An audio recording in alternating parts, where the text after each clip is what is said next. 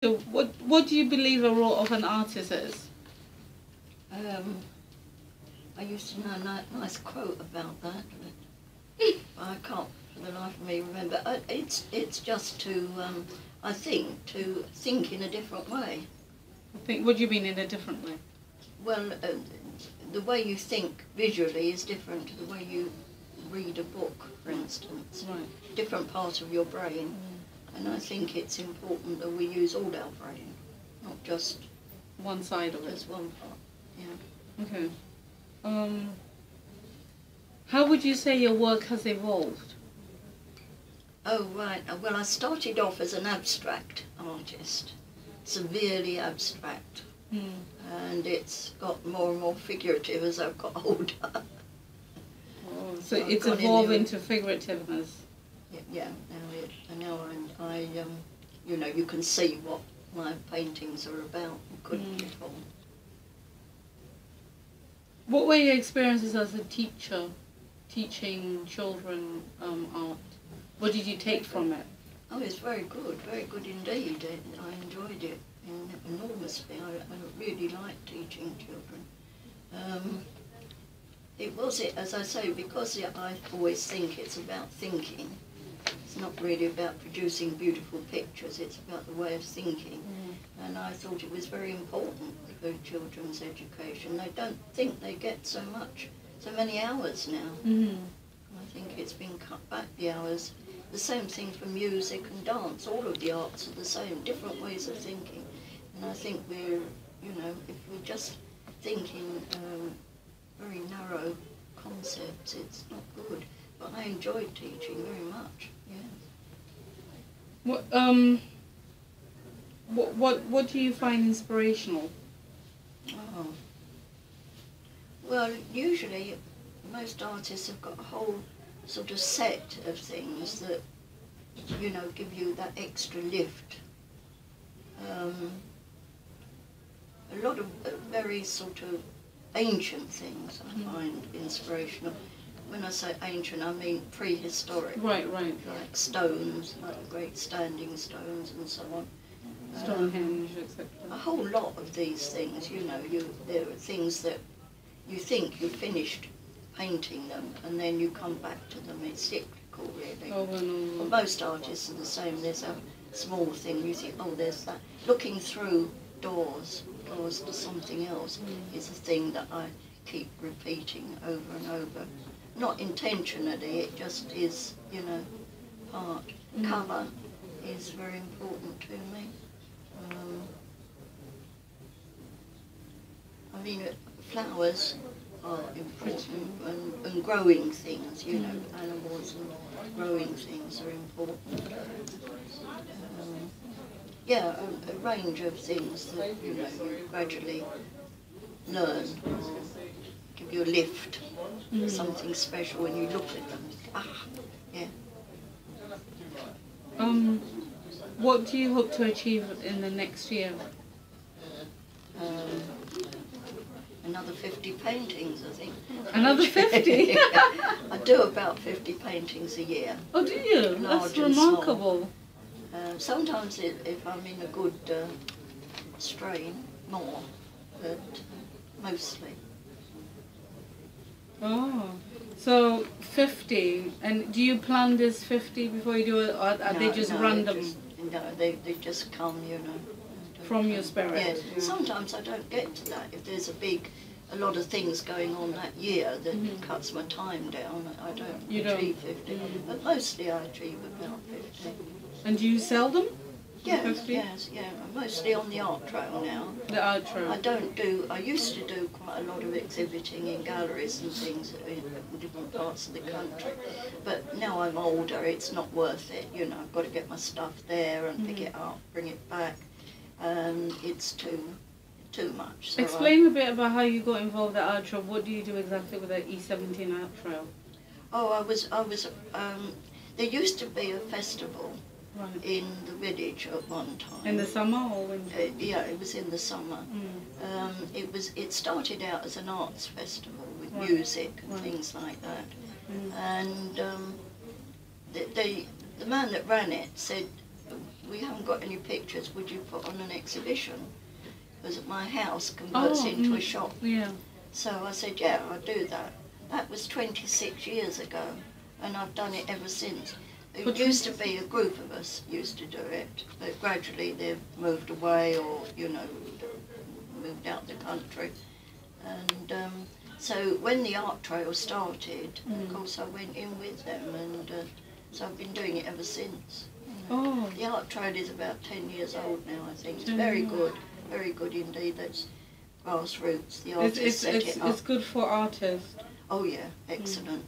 I mean, and it, it's good for the community as well because it's really exciting when that's on. It's on. You know, people do all sorts of things, strange things. You know, like putting art on trees and you can take it for free. Oh. Okay. If if you were um, sorry, if you were stuck on a desert island, Right. this takes a lot. If you're stuck on a desert island, what three things you take with you, and what music would you take with you? Ah, wow. Yeah. Um, well, I'd, I'd hope to take my painting materials and a, a, something, paper probably, um, something to make paintings with anyway. hmm Um, how many am I allowed? Three. Oh, just three? No. And I could make brushes. Um, You can make brushes. Yeah, everybody can. We made them at school on one occasion. We made our own brushes. Um, I think a pair of scissors might, or a knife might be very useful on a Yeah, to chop off the coconut trees. Yeah, absolutely. Um, uh, what else would I? Well, I suppose you could use shells or something for cutting, couldn't you? Mm. Um, I don't know. Music. It, probably Beethoven's symphonies. Yeah. That's what you take with you. I think so. yeah. Okay. what do you love um, about being a painter? The one thing you love about being a painter? Well, just actually uh, doing it, I think. You know, I mean, Mm. that sounds silly, but, you know, the actual physical making of things. I Mm. like um, I like crafts as well. I do a lot of craft Yeah, because I can Make, that- making things, really. Making yeah. In your opinion, what separates good art from a great art? What separates good art from a great art? You know, like Oh, I don't know. That's a deep question, isn't it? Very deep. what what art have you seen in your lifetime that you thought this is a great art? A lot. A lot. A lot. Name one of your favorites. Well, I mean, there's a great artist, obviously, like Da Vinci and all of these people. But uh, there's a, a great many artists that do very great Mhm. work. Uh, you mentioned Chagall Mhm. before. Yeah, Marc Chagall. Yeah. Um, the exhibition that he had in the Royal Academy, Mm. one of the few exhibitions that I've ever been where I was I was actually crying at the end of it. Really? I don't normally moved you not that much? mo- moved as much as that, but that that was. Mm. And another one, the other one, there was only two. The other one was a, a young lady. I say young lady, she's not so young now. She's in a wheelchair, and What's she did she, somebody who lives locally, and she uh, did some beautiful drawings of, of uh, in a hospital where children were born prematurely. She had a, Mm. what they called a residency as an artist, and that was the same. You know, it really moved me. So those two. So you don't have to be somebody well known. There's Mm. some great art Mhm. produced by many artists. Mhm. Really, I don't think it's.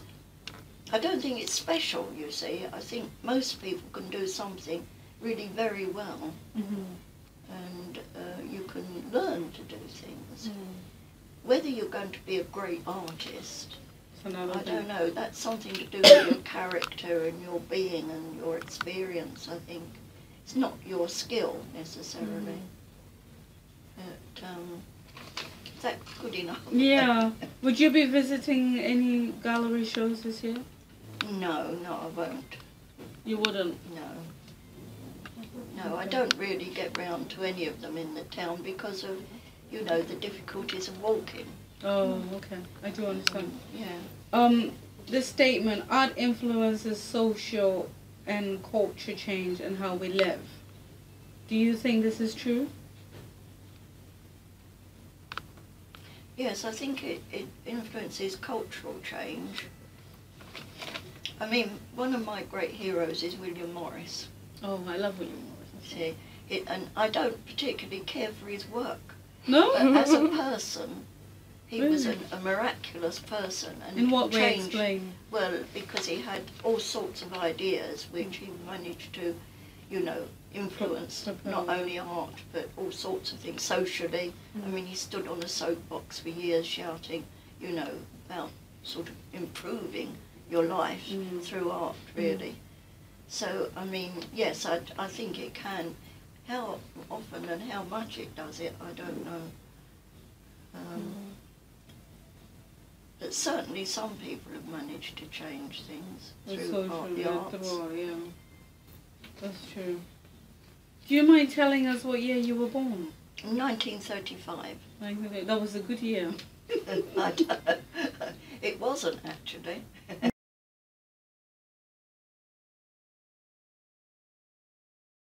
Which part of London were you born I in? was born in East London. I'm, as I say, a Cockney. I was born within the sound of Bow Bells. I was born in Mile End, oh. which is a mile from the church. And you grew up there all the time?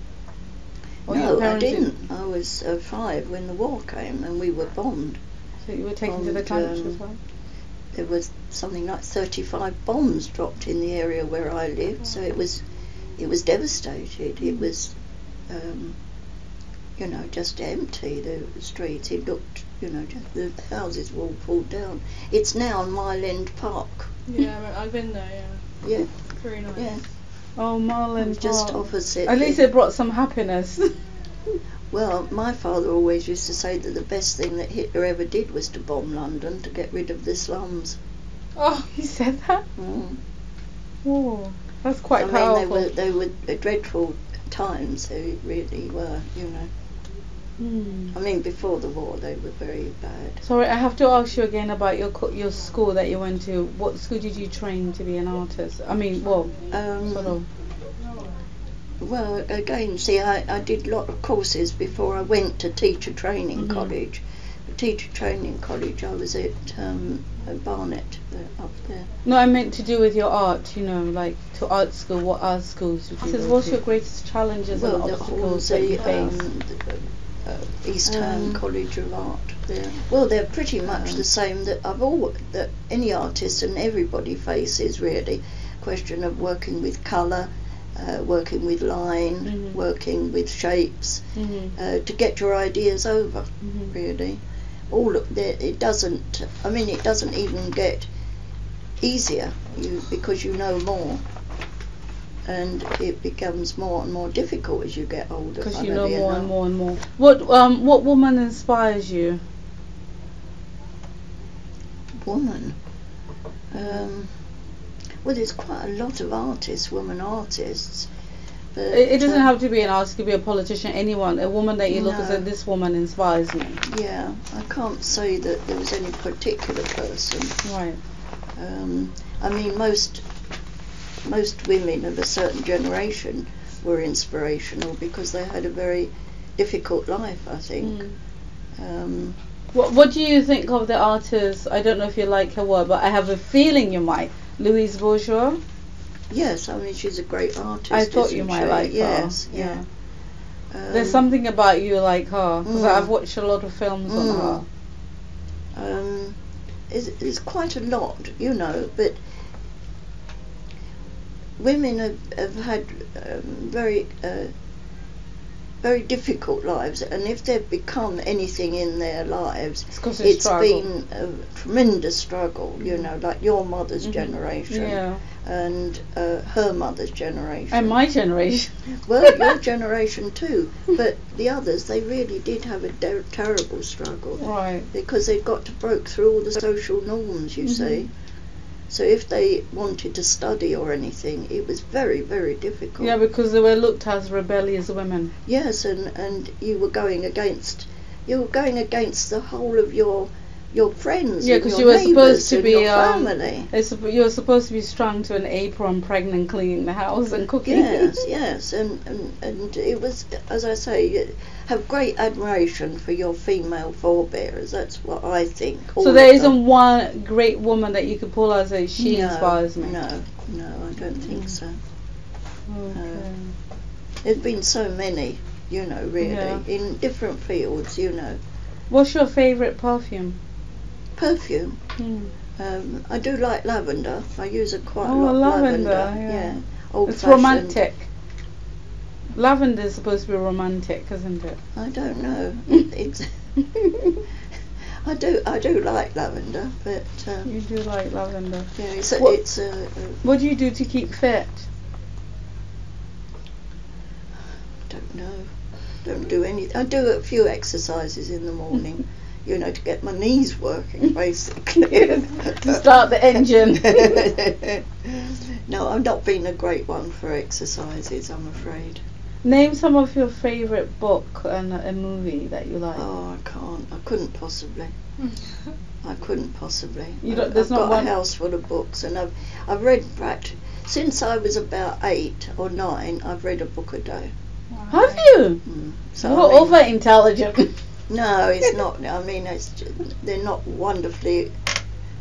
They're all sorts of books, fiction, mostly. Oh. so who's your one of your favorite writers? Like Well, I mean, I, I really wouldn't like to say. I mean, you know, they come and you be go. betraying your books. Pardon? you be betraying your books. At the moment, it's Gillian Bradshaw, who I only discovered about six months ago. You know, she What did writes she write? I don't uh, know. uh, fiction, historical fiction, and Mm. so on. But I mean, next week it'll be somebody else. You know. Oh. because I mean, the, I've as I say, I've always written myself. So I mean, Oh, do you? You oh write? yeah, yeah. I, I've wrote. I've written about ten books. I'm writing the. You've got them 11th one. published? Yes, yes, they were published. Oh, I like to read some of them. Huh? What? Do you sell them in your shop, or? I do sell them. Yeah, And I sell them online now. But Oh, uh, do you? You should give me the site where you sell them. um, yeah, I will. Okay. Yeah, yeah.